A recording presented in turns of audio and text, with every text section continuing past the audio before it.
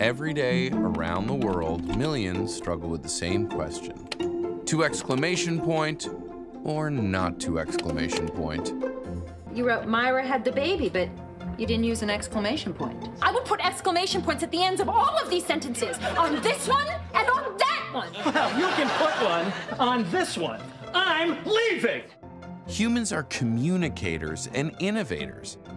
We sent a man to the moon, but we only have three ways to end a sentence.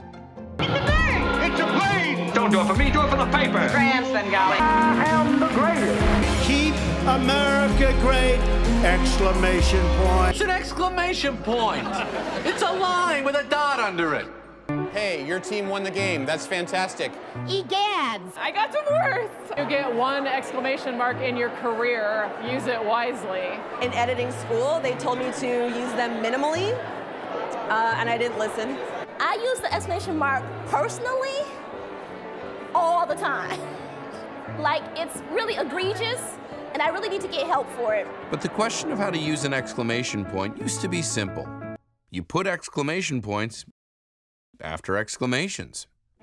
Words like lo, hark, behold, that are meant to grab the reader's attention.